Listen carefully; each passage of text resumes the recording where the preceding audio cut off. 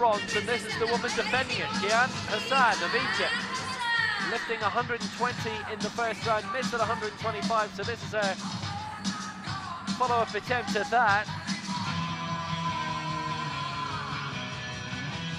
If she gets it, it wipes out Li Feng Mai, who's going for the same mark, but is heavier in body weight. But Al Hajjaj still would have a chance at 126 for the bronze, and she's currently in sixth.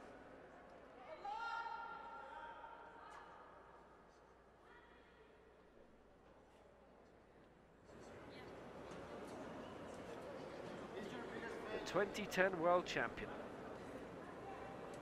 Silver three years ago in Dubai. Looking for a medal at a third straight world championships.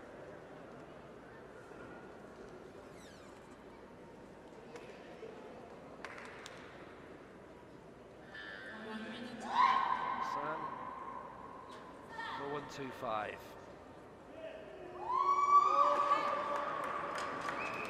Calmly does it. Took a while for the final result to come in, but she's been given it two to one, and it was one one for quite a while. It defeated the head referee, centre referee, Lucia Mohammed, to give what turned out to be the deciding mark, and that was it. So, the Hassan gets 125, stays third.